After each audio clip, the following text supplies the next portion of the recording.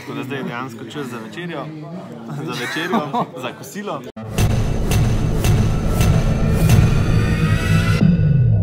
Letos teče že dobro tretje leto, odkar sodelujeva s Fordom. In uh, prvi avto, ki smo ga kdajkoli testirali, pri njih je bil.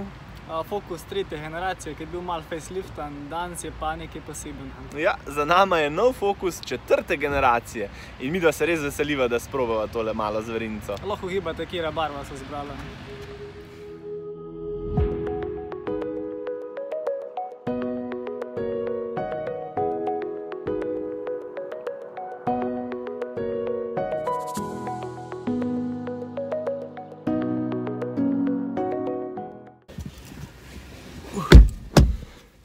In že sediva v novem fokusu. Prvič, tale notranjost je res en velik napredek napram prejšnjemu, ampak uh, malo bolj se mu bo posvetila pa v naslednjem videu, ki bo dejansko test. Zdaj bo bolj pomembna pot, pa samo doživetje te izkušnje. Je pa da slišimo. Tale ima pa je um, litrski EcoBoost motor, head-up display se je dvignil, hudo. Še brisalce probati, ker se je malo zameglil. Zakon. Veš, kam greva? Greva v Vipavsko dolino do vinske kleti Gorila, tu je tam blizu planine oziroma na planin. Tako da je en lepših krajev, po mojem. Pa tudi, ker smo doživela tam že s Fiesto, Estelan, pa Fiesto, ST. Dajmo še fokuse.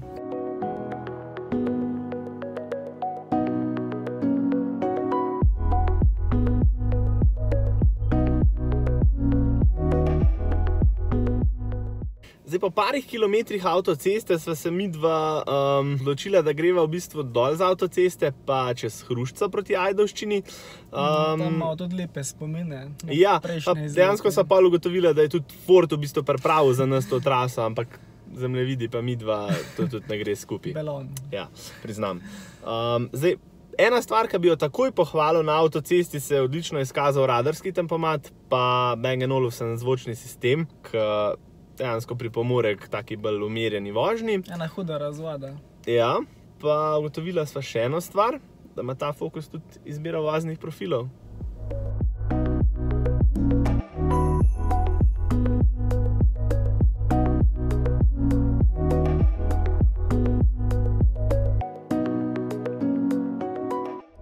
Zdaj smo pa že na koncu prvega dela poti, kje točno? Čez ovinkasta hrušča smo prišla do podkraja Cola in zdaj smo tukaj v bistvu na pot proti vrhpolju, kjer so tudi ovinki. Zdaj pa gremo gledati, kje so parkirani še ostali fokusi. Zdaj smo pa čist na dnu te ovinkaste ceste, končno, ker eh, na sovoznikovem sedežu v hudih ovinkih ni tako fajn, kot za voznikovem, ampak ok. Zdaj pa ti povej na prvo žogo, kako se pele fokus. Pri Fordu so zmeri znali dobro zapakirati ta dinamičnost, pa tudi uh, udobje. Mhm. In to se na ovinkasti in tudi malo bolj taki čudni cest, uh, fajn občut in je avto še zmeri zabaven.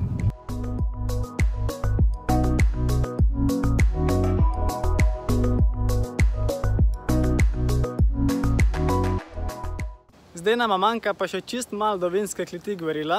A tle pred mano je že tak Fordov znak, s kamer moramo jet. Andraš je pa še najdu tako lepo lokacijo za malo poslikati.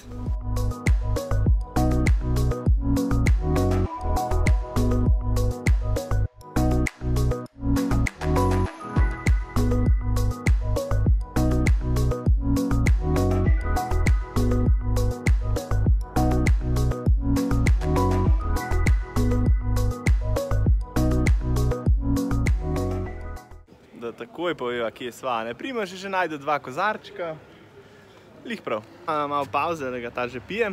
Uh, smo reči, vsakeč, ko prideva v te konce, pač en sam velik wow. Kamorkoli se obrneš, nori razgledi, pa še dobro vino. Ampak čist malo. Zdaj mora biti malo bolj tih, zdaj je na vrsti predstavitev, da nam bojo povedali, kaj novega. Pa gremo pa, pa je jest, pa pa nazaj pa Ne, še vinska klet. A, še vinska klet, pa se gremo pa vaziti. Predstavitve je konc, uh, zdaj pa gremo dol. Hm, že diši. V klet. Uh.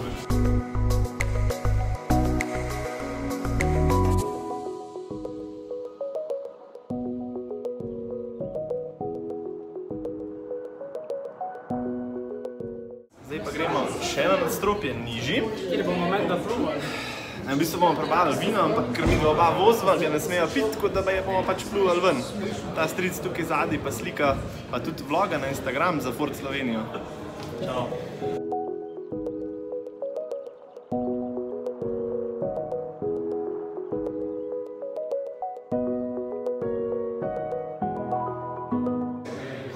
Zdaj, mi pa tega še nikoli nisva delala, ne? sva že pila vina, ampak nisva ga pa še tako okušala, da bi ga pol ven plula.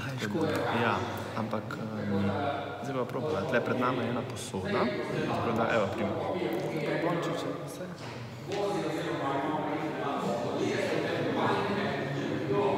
Nope. Jaz pa nam tega dela. Dobro, se primaš pa vozi, tako da je kul. Cool.